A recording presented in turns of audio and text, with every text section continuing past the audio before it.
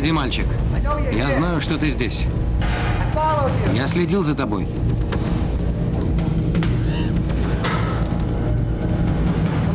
Немедленно выходи. Не прячься. Никто тебя не обидит.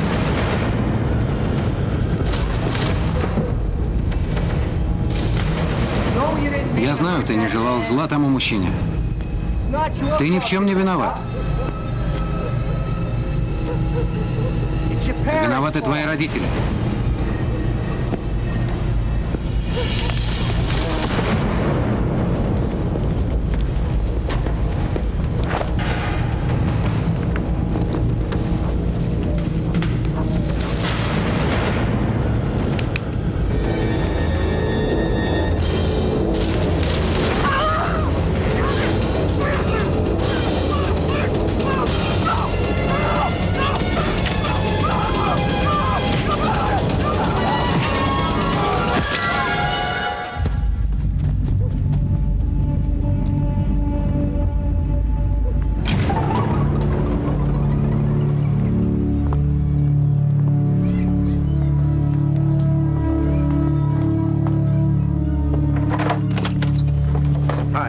Здравствуйте, Джон Ракелян. Хауард. Хауард Шарп. Проходите. Моя жена, Джоан. Я рад, что наконец встретился с вами лично. Я тоже доктор. Вообще-то давайте сразу на чистоту.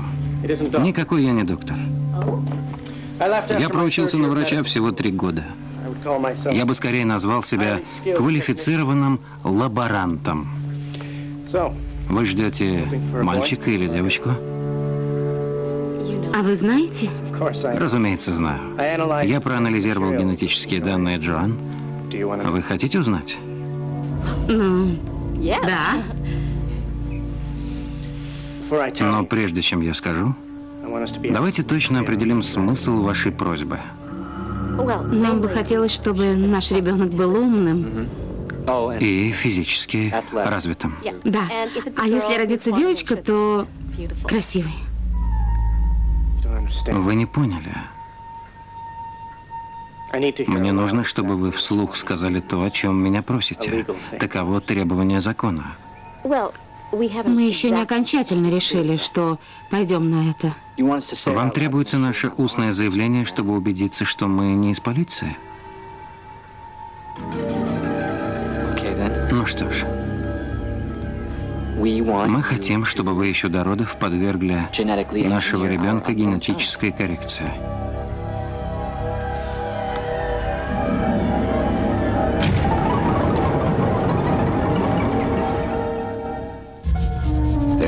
Ваш телевизор исправен. Не пытайтесь настраивать каналы. Все передачи под нашим контролем. Мы управляем горизонтальной и вертикальной разверткой. Мы можем передать вам тысячу каналов и очистить всего один кадр до полной прозрачности, а потом заглянуть внутрь него. Мы способны заставить вас видеть все, что родится в нашем воображении. В течение следующего часа мы будем контролировать все, что вы увидите и услышите.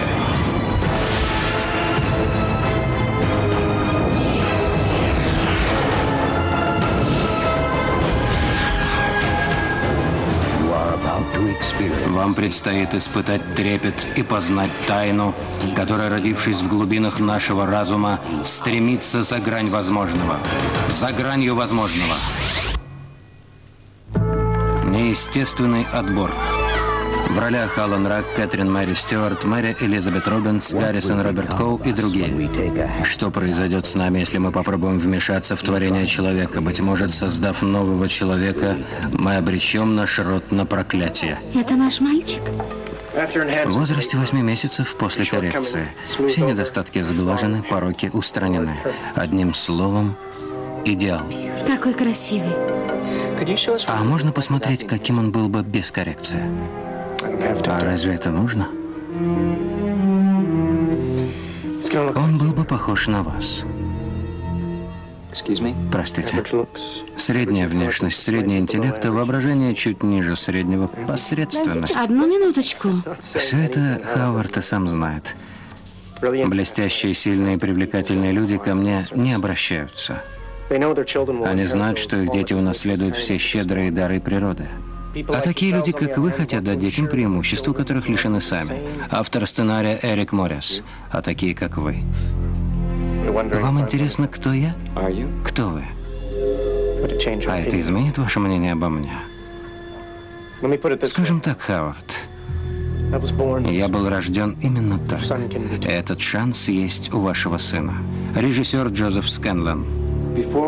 Прежде чем мы продолжим, давайте выясним, сколько все это стоит. Конечно. Если необходимо, мы сможем предоставить кредит. А нельзя ли уменьшить эту цифру? Дороже всего обходится генетическая коррекция интеллекта. Это можно исключить. Нет. Зачем тогда все это нужно? Мистер Аракелян, мы можем все обдумать? Разумеется. И последнее. Как насчет мутации? Риск существует. В одном случае из 10 тысяч у ребенка наблюдаются мутации. Я видела мутантов в новостях. Меня это пугает. Да, зрелище страшное. Синдром генетического отторжения – главная причина того, что уже 30 лет власти не признают законность генетической коррекции. Лично я считаю, что рискнуть стоит, и тысячи наших клиентов согласятся со мной. Да. Ну что ж, мы вам позвоним. Вы нас вызвали? Да, я услышала шум и выглянула в окно. Он бежал по улице. Мамочка! Вы уверены, что это был мутант? Конечно. Да и кто мог такое сделать? Только один из детей мутантов. Моя дочь долго не оправится от страха. Не бойтесь, мам. Мы поймаем мальчишку. Полиция должна ловить их прежде, чем они совершат зло. Посмотрите, что он натворил.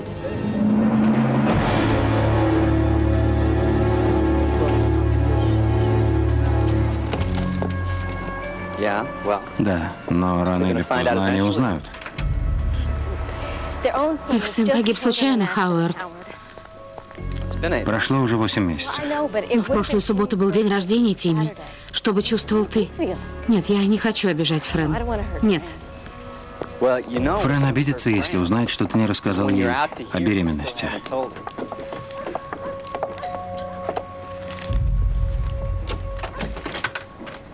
Привет. Привет. Прости, что мы опоздали. Везде жуткие пробки. Придумай новую шутку, Хауэрд. Ладно. Проходите. Спасибо.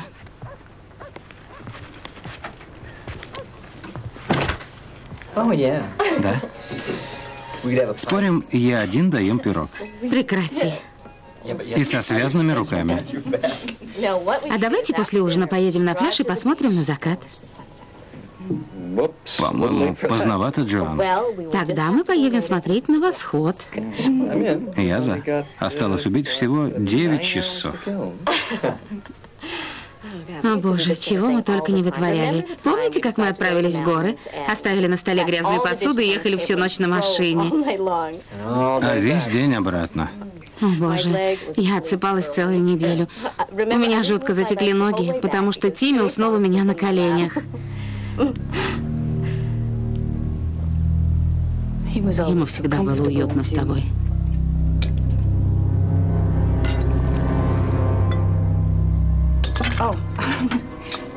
Простите. Будете что-нибудь еще? Да. Принеси-ка еще бутылку вина. Вина нет.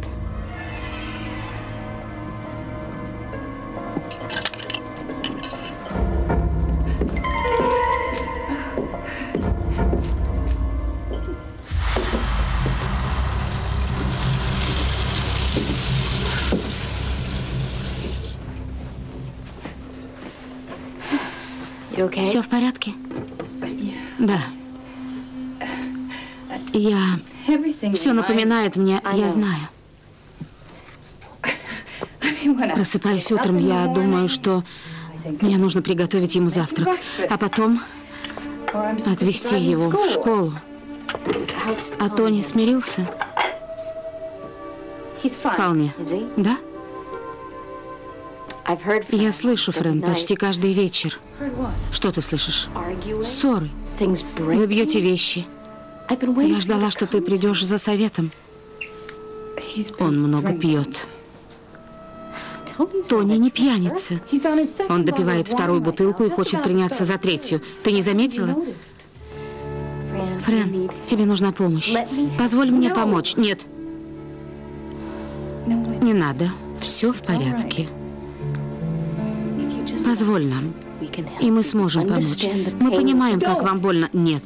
Не говори, что ты понимаешь. Ты не можешь понять. Я тоже его любила.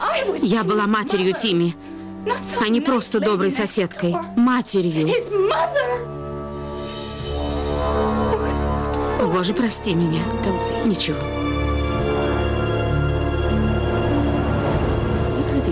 Ты тоже слышал ссоры. Думаешь, он ее бьет? Нет. Тони, брось, Джоан. Мы знаем их многие годы. Часы на столе разбиты. Может, он бьет часы? Это совсем не смешно. Послушай, дорогая, Тони точно не бьет Френ. Он пьет? Я бы тоже запил, ведь они потеряли сына. Они орут друг на друга. Может, их брак зашел в тупик? Я даже представить не могу, что им пришлось пережить. Мне так хочется с ней поговорить. О ребенке? Да, о ребенке и обо всем. Поговори. Но когда будешь рассказывать Френ о беременности, о наших планах ни слова. Нельзя даже спросить ее мнение? Нет. Почему? Потому что нельзя, Джоан. Просто нельзя. За это грозит пять лет тюрьмы. Если уж мы решились, придется скрывать. Ладно.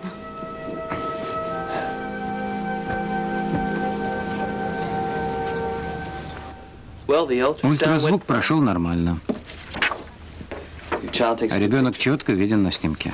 А генетический тест вы сделали? Да. Вас наверняка обрадует, что у ребенка нет признаков гемофилии, анемии, генетических мутаций или уродства. У вас родится вполне здоровый малыш. Вы хотите знать, мальчик или девочка? Нет, пожалуй, мы предпочтем сюрприз. Верно, дорогой? Разумеется. Я сохраню тайну. Следующий ультразвук через три месяца. А пока... А можно ли по генетическому тесту судить, скажем, о его росте? О его росте? Мистер Шарп, я не намерен обсуждать с вами возможность генетической коррекции. Нет-нет, я просто спросил. Я могу выявить генетические дефекты, которые серьезно осложнят будущую жизнь ребенка. Но я не могу вам гарантировать, что он станет капитаном футбольной команды. Я знаю, знаю. Просто мне любопытно, нет ли законных процедур? Нет. Законных нет. Ну что ж, большое спасибо, доктор. Не делайте этого. Простите, чего не делать? Половина моих пациентов думает о генетической коррекции, будто бы сама жизнь для них не чудо. И я всех отговариваю. Запрет на генетическую коррекцию обоснован. Она может привести к мутациям. Я не смогу разгадать код другого специалиста по генетике.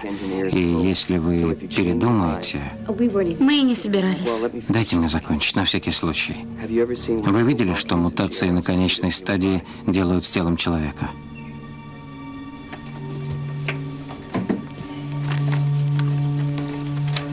Мы уверены, что протеины, связанные с измененным ДНК, распадаются после клеточной регенерации.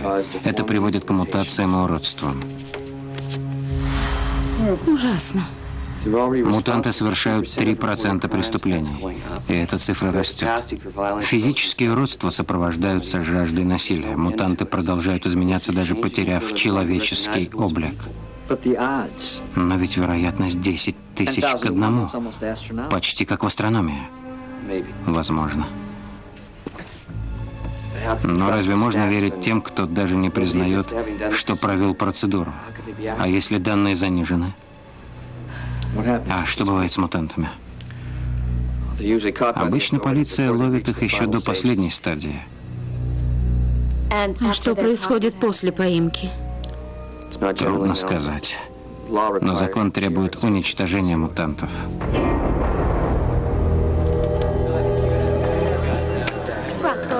Одну минутку. Минуточку. Нет, я понимаю, миссис Паркинсон, но мы гарантируем возврат ваших вложений. Прибыль за вычетом налогов 17% и никакого риска. Прогноз по прибыли? Сейчас. Одну минуточку, я сейчас справлюсь. Подождите. Поверьте, я сам покупаю эти акции. За вычетом налогов прибыль составит 17%. В прошлом месяце было 14%. Дело стоящее. Миссис Паркинсон. Синдром генетического отторжения.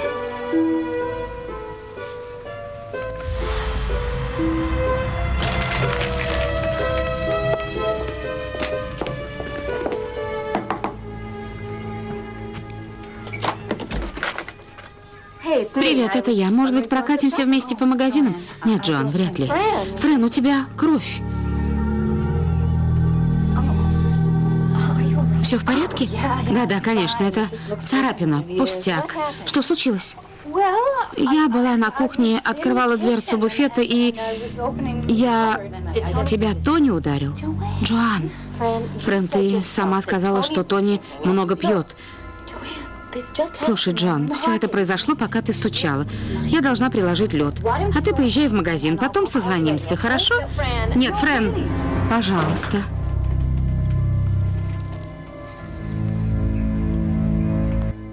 Поверьте, это редчайший шанс. Это я уже слышал. Да, я уже говорил это. Я знаю, но мы не могли предсказать, что проиграем эту тяжбу. Теперь, однако, я могу утверждать, что эта компания не втянута ни в какой процесс. Мистер Джеймс, подумайте. Подумайте, а я вам еще перезвоню. Есть секундочка. Присядь.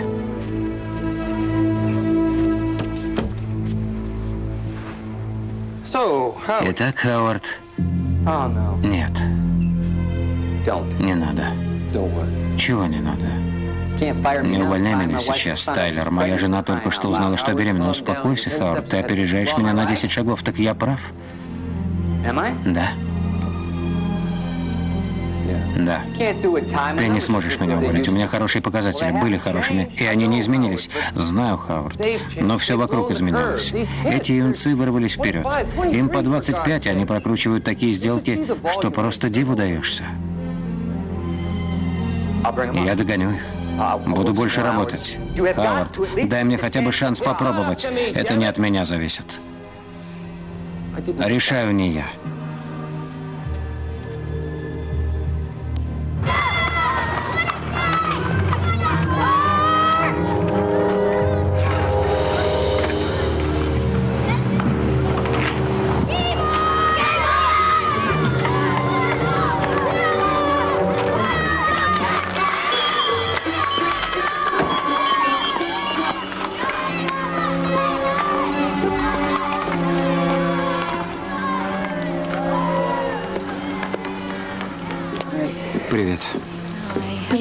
Как дела?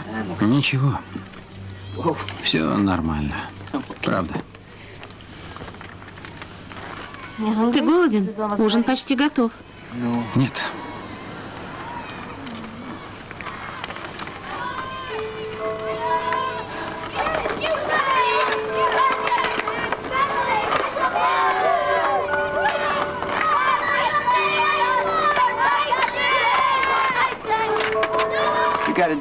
должна это сделать. У нас нет выбора.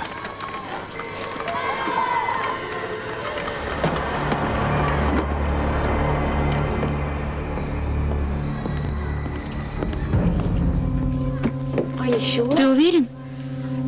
Ведь ты потерял работу, Хауэрд. Поэтому я и уверен. Если я устарел, то что ждет нашего сына, когда он вырастет? Если мы не пойдем на это, он будет гражданином второго сорта. Ты не устарел.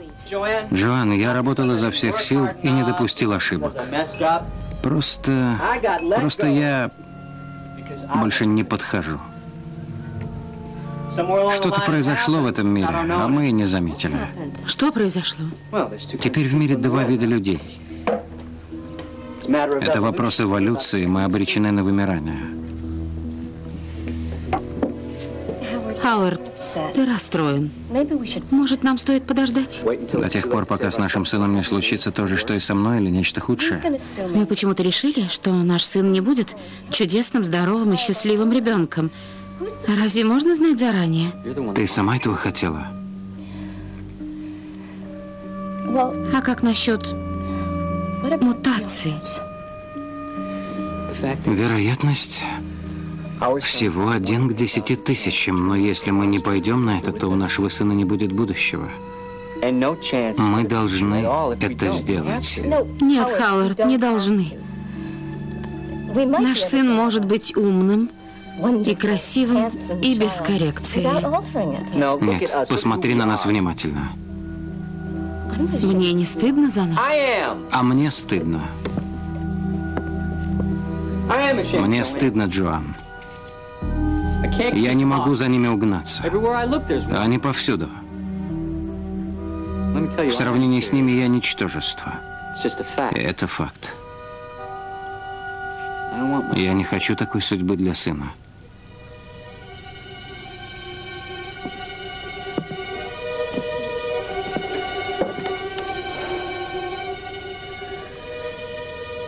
Давай позвоним Аракеляну. Что скажешь?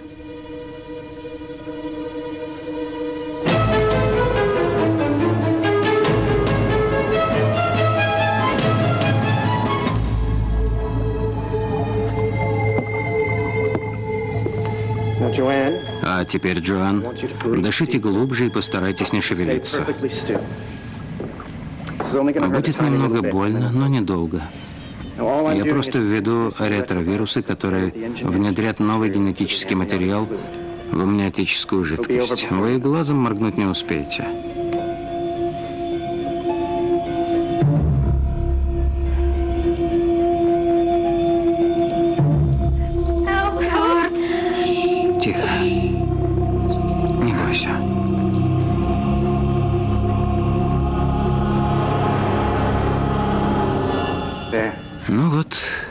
И все. Все? Все? Да, все. Львиная доля моей работы в подборе генетического пакета. Остальное зависит от матери природы. А какие будут рекомендации? Никаких. Я только попрошу вас забыть об этой палате, обо мне и о проведенной процедуре. Спасибо, мистер Аракелян. У нас родится чудесный мальчик. Да, дорогая. Поверьте мне, вы не пожалеете. Но если вы все-таки передумаете, коррекцию можно остановить в течение 21 дня. Зачем нам передумывать? Верно. Зачем? Не торопитесь, никакой спешки.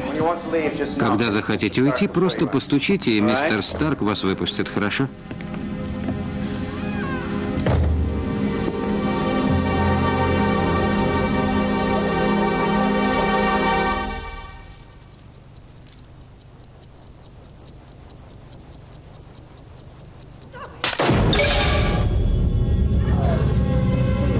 Боже, Хауард, что это было? По-моему, Тони кричал. Нужно вызвать полицию. Я не собираюсь вызывать полицию из-за того, что Тони повысил голос. Нет, Хауард, ты не видел вчера Френ. У нее была рана на лице. Я не позволю Тони ее мучить. Постой, постой. Крики прекратились. Тебе стоит к ним пойти. Нас это не касается. Ховард, они наши лучшие друзья. Поэтому я уверен, что Тони не станет избивать Френ. Брось, ты ведь его знаешь. Да, кажется. Завтра с утра у меня важная встреча, и мне нужно выспаться.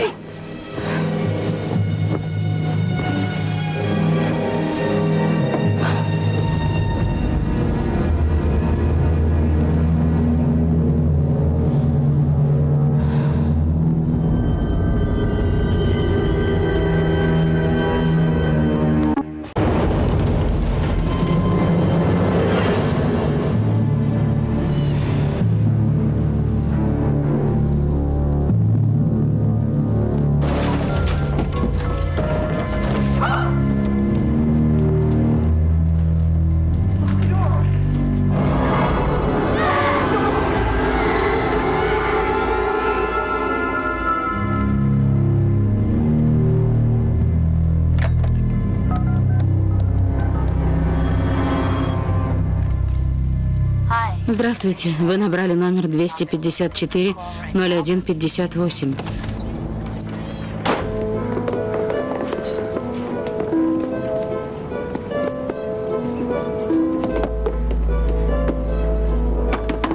Фрэн? Фрэн? Что случилось?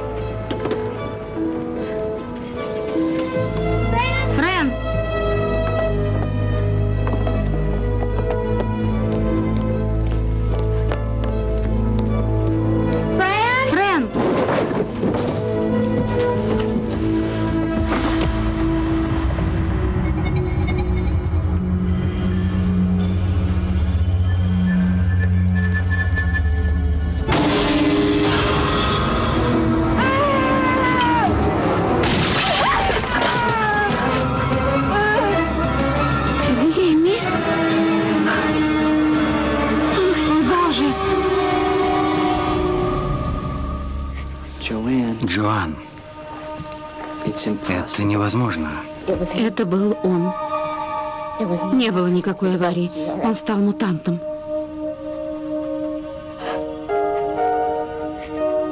Его глаза.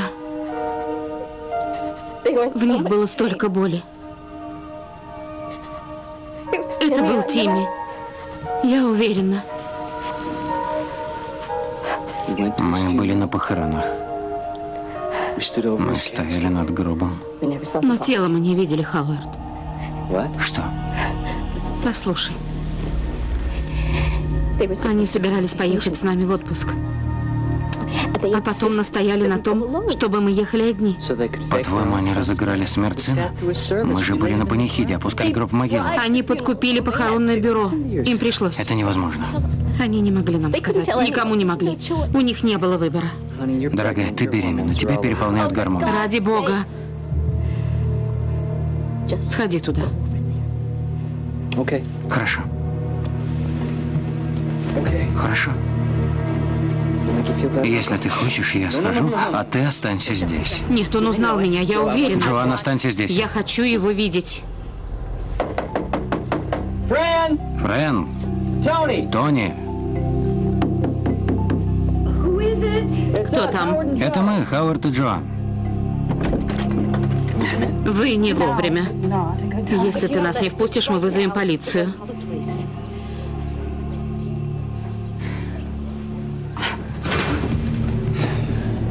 Френ,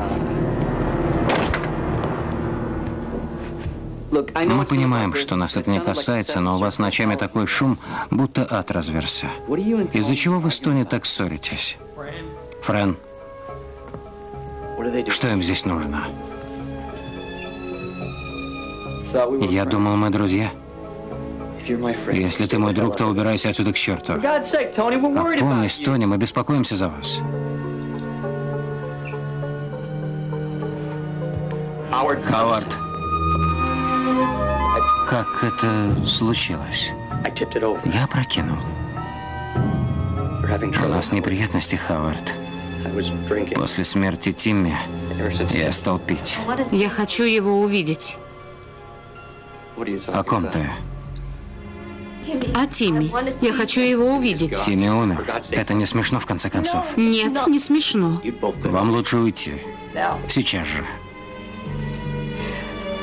Я его видела. А не то я вас вышвырну. Я видела его сегодня утром в окне подвала. Я знаю, что он в доме. Я знаю, что он мутант. Не лги мне. Мы никому не скажем. Нет. Ну, пожалуйста. Я должна его увидеть. Иди домой, Хавард. Пожалуйста.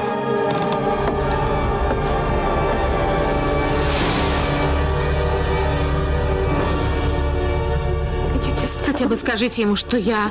Я...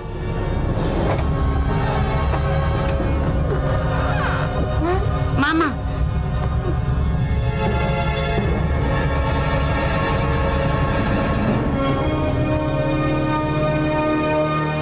Мама!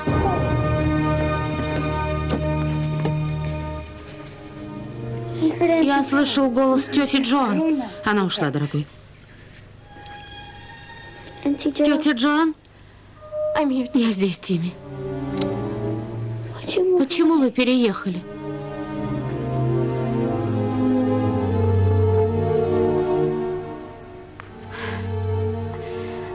Мы не хотели, но нам пришлось. Но ты не попрощалась. Прости, я хотела. Не подходи к нему. Спокойно, дорогая. Я держу его. Тетя Джоан. Тимми, стой. Нет, нет, Тимми, пойдем вниз, дорогой. Я посижу с тобой, ладно? Возвращайся. Иди. Хорошо, все хорошо. Приходи. Я постараюсь. Идем, дорогой. Я так скучаю по ней. Мама. Спускайся, дорогой. Осторожнее. Не споткнись.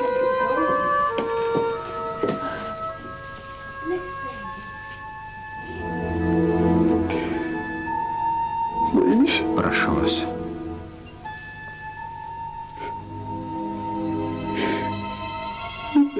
Если о нем узнают,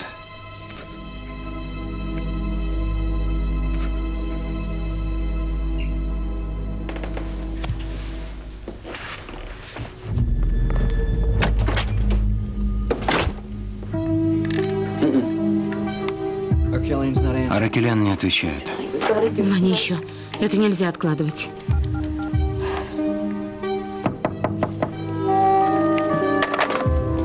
Ховард, я не хочу никого видеть.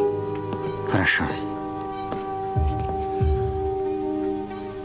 Это Фрэн.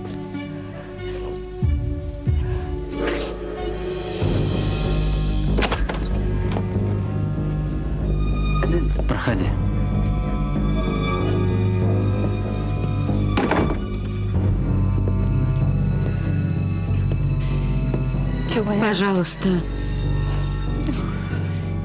простите меня, но вы должны пообещать, что никому не скажете. Звони, Ховард. Мы не знали, как нам поступить. Вы ведь знаете, что делают с жертвами мутации. Их уничтожают. Как животных. И что дальше? Не знаю. Мы надеемся, что хуже не будет. Поначалу мы справлялись. Напрасно ты не сказала мне, Фрэн. Да, Джоан, да. Ты очень любила Тимми. Нет. Дело не только в этом.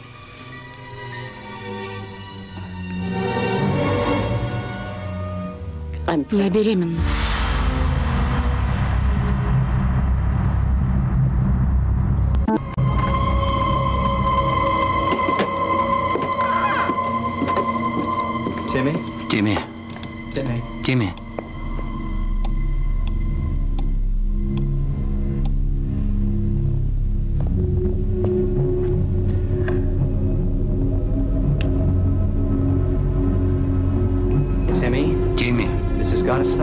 Прекратить, сынок.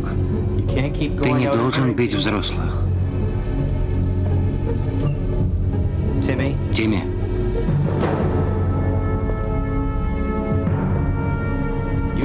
Выходи.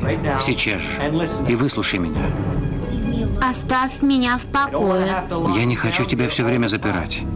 Но боюсь, мне придется. Ни за что. Выслушай меня. Ты мне надоел. Иногда поступки взрослых непонятны детям. Ты наврал мне. Мы не хотели тебя огорчать, сынок. Врун!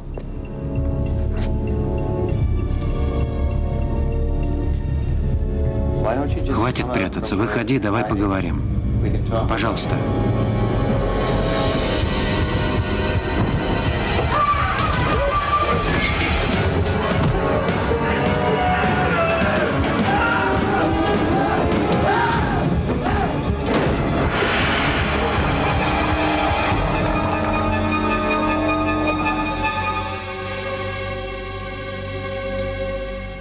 Ты ведь не сделала этого. Нет?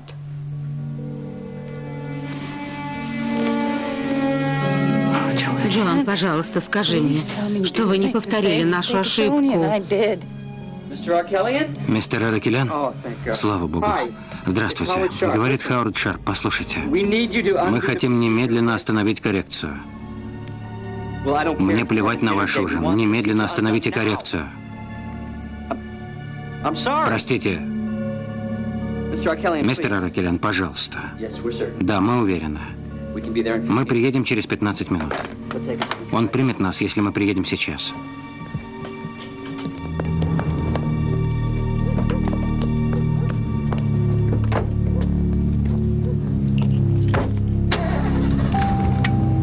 Открыта дверь. Ради бога, Хауард, поехали.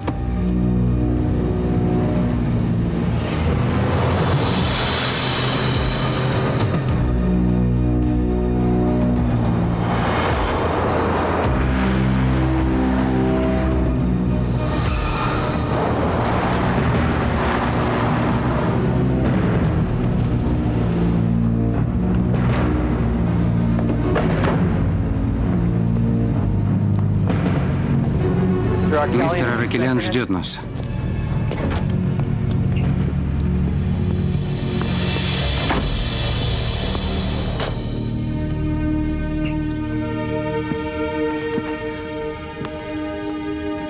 Мы поступаем правильно, Джоан.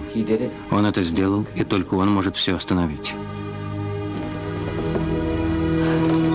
Миссис Шарп, ваш муж сказал, что вы... Хочу остановить коррекцию. Но почему? Ведь вы потратили целое состояние. Это не важно. И скорее. Я не могу ждать.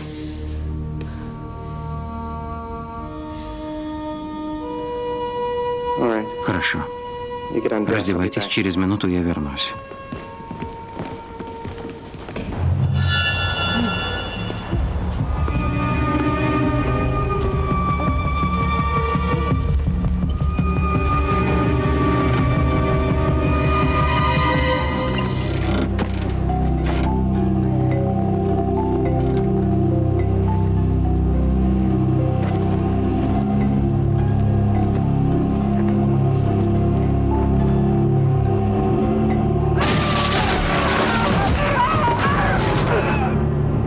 Остановить процесс очень просто. У меня есть раствор, который разрушит химические связи измененных молекул ДНК. Но вы, надеюсь, понимаете, что за эту процедуру придется платить. Мы понимаем. Начинайте. Джоан, будет немного больнее, чем в прошлый раз. Готовы?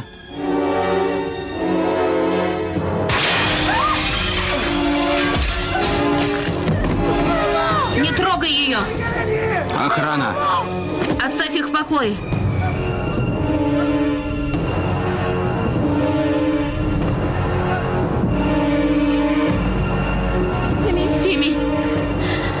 Я не хотел, чтобы тебе было больно. Нет!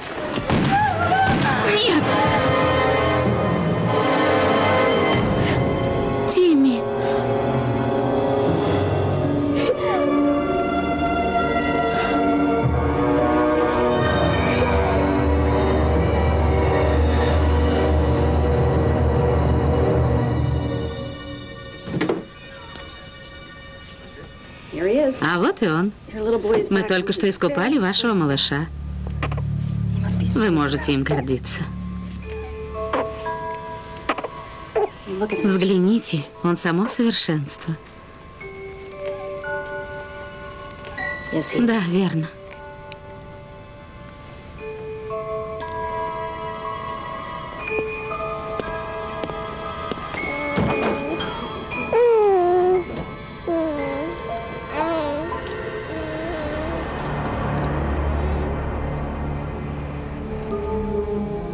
Кто наши дети? Продолжение нас самих. Отражение того, кем мы являемся и кем хотим стать.